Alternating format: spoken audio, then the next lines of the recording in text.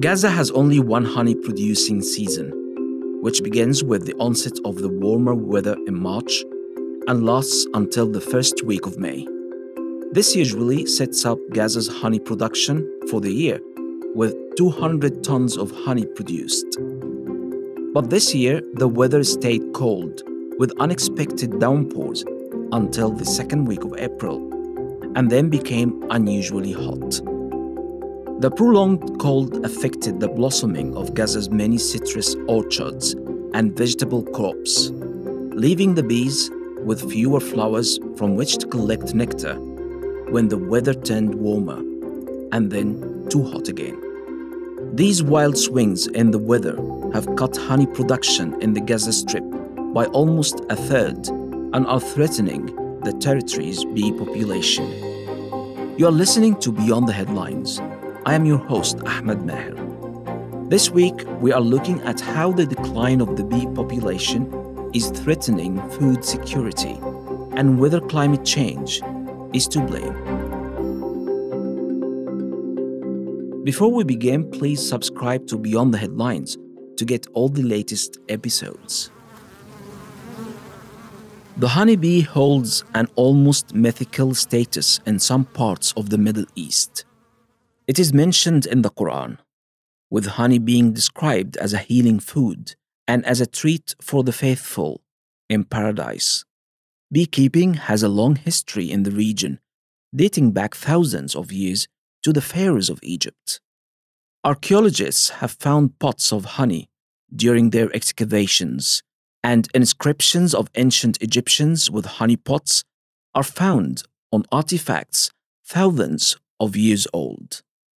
And in the Gaza Strip, it is held dearly by the population of more than 2 million and is much sought after for its widely known health benefits. But climate change is taking a toll on Gaza's honeybees and consequently the 500 registered beekeepers. Although some Gazans take up beekeeping as a hobby or to produce honey for family consumption, or to sell on a small scale. All of Gaza's honey production is consumed locally. Overall, Gaza has produced only 140 tons of honey this year, a sharp drop from the 200 tons produced in 2021. Globally, the decline in honeybee populations has been noted for many years, with alarms being raised in 2006 when beekeepers noticed an unusual decrease in honeybee colonies.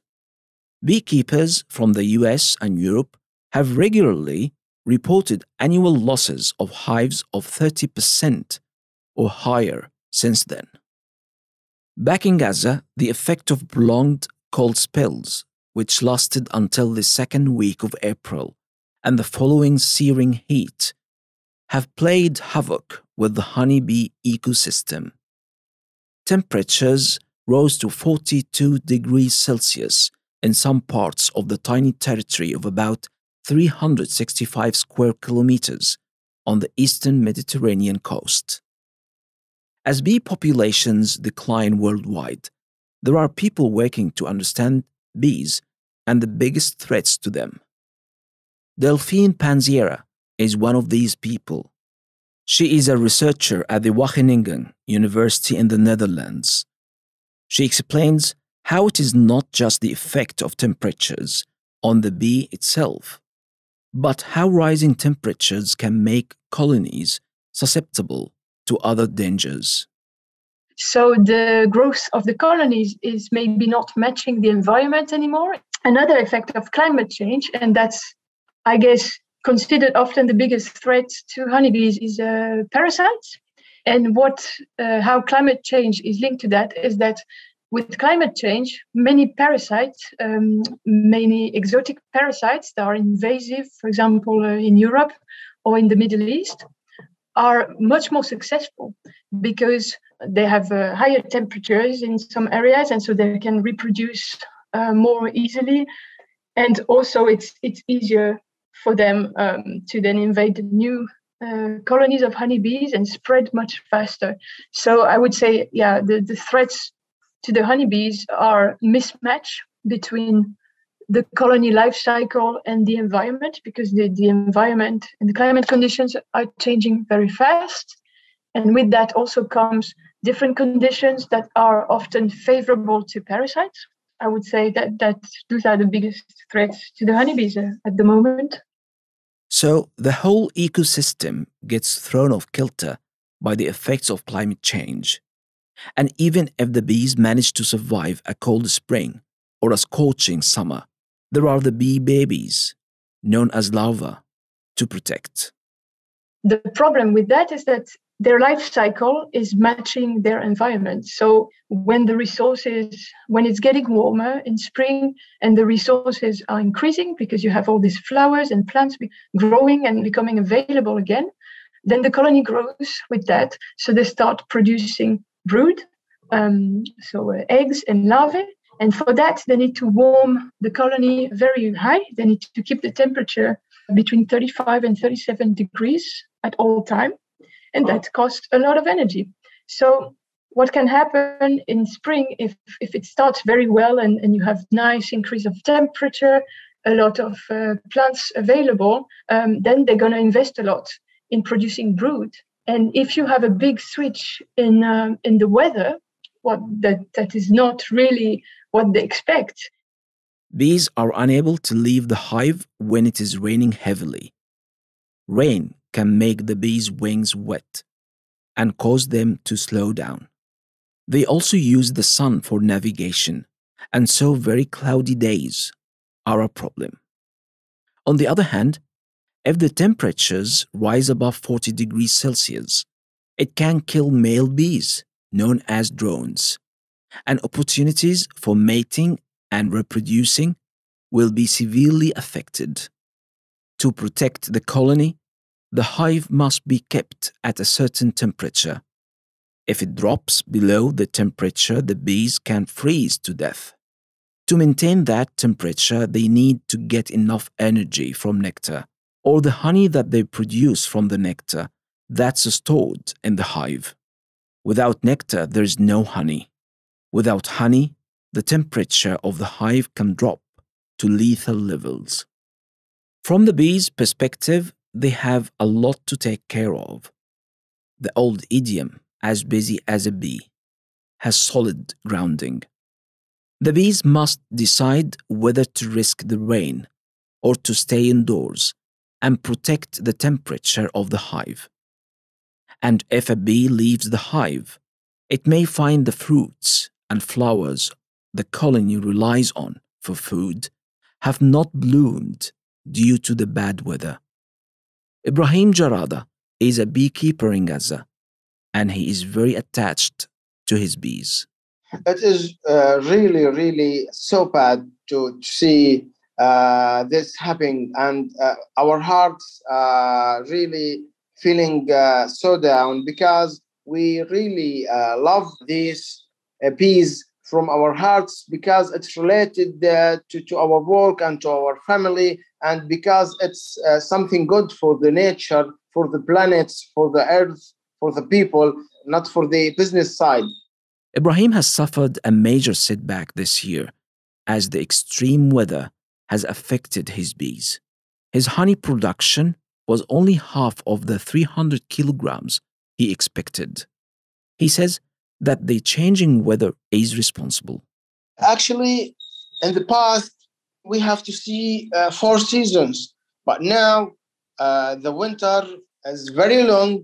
We feel that uh, we moved from the cold to uh, the hot and summer directly without any time of the spring, the beautiful uh, weathers, uh, the flowers, the birds, uh, you know the spring season. So this year we we really uh, feel this, and this season especially, I think there is no March. It's just a winter and then the, this summer. This is what what I uh, saw during my works.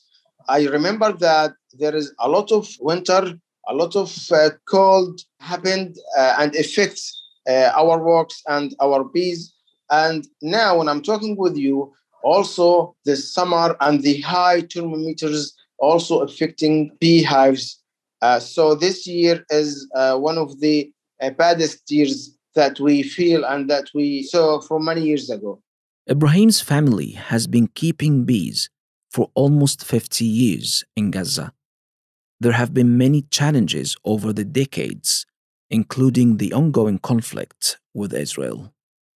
With most economic activity affected by an Israeli blockade imposed after the Palestinian militant group Hamas took power in 2007, many people in Gaza depend on agriculture to survive.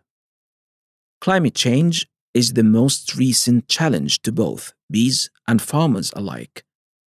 Gaza is known for its fertile land and varied crops, especially olives, grapes, and citrus fruits. Honeybees pollinate most of Gaza's crops, including lemons, oranges, and tomatoes. It breaks Ibrahim's heart to see his bees dying and starving because they ran out of stored honey and they couldn't collect the nectar from the flowers, as they used to do every year. Bees can fly in a limited range. On average, this should be between 1 and 6 kilometers from the hive. Within this area, they must collect nectar for food and collect pollen for the nests. Ibrahim is helpless as he watches his bees die. This is may uh, happen in the winter season. So after this winter season, when I checked my bees, yes, many of the beehives uh, actually died from our beehives, and this is because of the uh, less of the food and the cold. The United Nations estimates that three quarters of the world's flowering plants, including all fruits and vegetables, rely to some extent on bees and other pollinators. The organization has expressed concern at the decline and disappearance of bees and wild insects, mainly the result of climate change, pesticides, and plant diseases. Delphine Panziera explains why bees are so crucial and why losing them is potentially devastating. So, bees are important to humans, but of, of course, not just to humans. Bees, when they collect uh, nectar and pollen for the food, they also provide what we call an ecosystem service because they pollinate the plants. Uh, plants need to reproduce just like animals, just like everything. That, that's how life happens, but they cannot move. So they need someone, they need, in this case, insects or other pollinators to move the pollen from one plant to another, to have genetic exchange, and to be able to reproduce. So that's why bees are so important uh, for plants in general, for ecosystems, because one bee colony, it's estimated that foragers fly can fly on average five kilometers away from the hive, but we know that they can go up to 10 kilometers away from the hive to collect resources. It is a mutual relationship. The bees benefit from us planting and not polluting the environment, and we get our food from them when they pollinate the flowers. If the bees die, the human food supply will be in tatters, with an even heavier reliance on crops such as wheat that are pollinated by wind. But what would a world without apples, mangoes, almonds, strawberries, cardamom, or tomatoes even look like? Seeing the big picture, Ibrahim has decided to prepare for the man made climate risks, mainly by covering the hives with oak bark to protect them in the cold weather. He inherited his passion for bees and honey making from his father and grandfather and is keen to pass it on to his children and grandchildren. But with climate change casting a pall on the future of the honey industry, he fears that more bees couldn't make it past the potential cold spells in spring next year. He will tend to his bees and leave the honey for them to feed themselves this season. He is hopeful that the bees will recover at some point and his business will grow. He hopes to have more beehives with more swarms to take the total number to 200 and distribute them in different parts of Gaza, close to the farms, for a hopefully lucrative season next year. We are just trying as much as we can. For example, in the winter, uh, we provide the beehives with the food. We provide them because for the very uh, cold, they cannot leave the hives and to go outside. And also, there is no flowers uh, bloom to get the food from them. So we trying to give them the food in the winter, and uh, we're trying to open the covers of the hives to let the sun enter inside. Actually, in the summer months, we put them under the trees. We provide a water resources around them. All of this uh, we're trying to do because uh, to, to, keep the bees and uh, their queen healthy as much as possible. You have been listening to Beyond the Headlines. I've been your host, Ahmed Maher. If you have enjoyed this week's Beyond the Headlines, please subscribe to get all the latest episodes, and we would really appreciate a review. Thanks this week to Ibrahim Jarada and Delphine Panziera. This week's episode was produced by Arthur Edison and Aisha Khan.